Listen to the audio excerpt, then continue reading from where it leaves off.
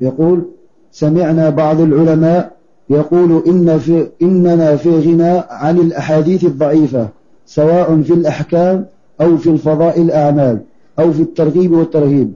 فإن عندنا من الأحاديث الصحيحة ما يكفينا فلا يجوز التحديث بالأحاديث الضعيفة إلا يبين ضعفها فقط. فهل هذا القول سديد؟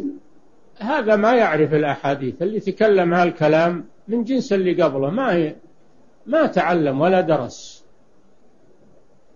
الأحاديث الضعيفة ما ما تصادر مرة وقال ما يعمل بها مطلقة. الحديث الضعيفة ما هي على حد سواء. منها حديث له شواهد تقويه ويصبح حسنا لغيره. ومنها أحاديث مختلف في تضعيفها. بعض العلماء يرى أنها حسنة أو صحيحة. والبعض الآخر يرى أنها ضعيفة لم يتفق على في قسم منها لم يتفق على أنه ضعيف. يعني كل حديث يقال ضعيف يصادر ويترك.